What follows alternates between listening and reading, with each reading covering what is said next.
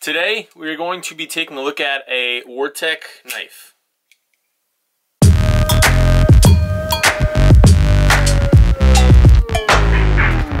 So today we are taking a look at a Wartech knife. I actually got this gift from my cousin Brendan. He asked me to be his groomsman. Obviously I said yes. That's going to be in Georgia in fall of 2021 so that should be fun. And he sent me this and a bunch of other stuff and I filmed that stuff in a mail time video. So if you guys want to check out what he sent me hit the link up above to check out all the things that he sent me.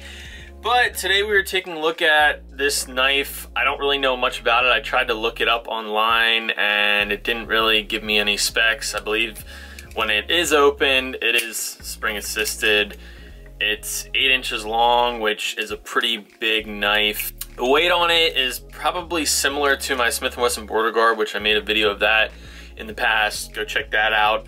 Taking a look at the blade first, we have the 3CR13 blade up here with the little bottle cap opener, the normal knife edge, little serrated down here. The next feature up here, if I can turn it the right way, we have a flashlight, which I haven't ever seen a flashlight on any other knives and it is also removable. I believe you can stick it into a screwdriver or something like that, but this is pretty nifty and I would have never thought to put a flashlight on a knife, but they did it. And then back here, we also have a seatbelt cutter as well as a glass breaker.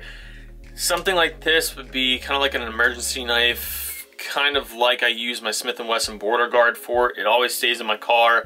That way, if I were to get into an accident, see an accident or something like that, then I could use the glass breaker, the seatbelt cutter to get myself or somebody else that has an accident out of their car and help them out that way. Then we also have my name engraved down here, which is a nice touch. And the reason why I say I will probably be using this in like a hiking or camping bag or something like that is it is pretty sparky. If you can see that on camera, it's hard to see, but there is a fire starter. There is a fire starter with this knife which will be helpful to start fires if I don't have a lighter or something like that.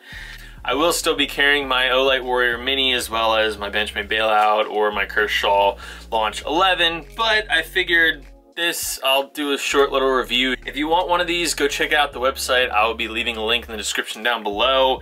Alright guys, well that's to be it for today's video. If you guys could, please slap a like on this video. Comment down below if you've ever heard of Wartech knives or have one of these style knives. And as always, please hit that subscribe button and I'll see you guys in the next video.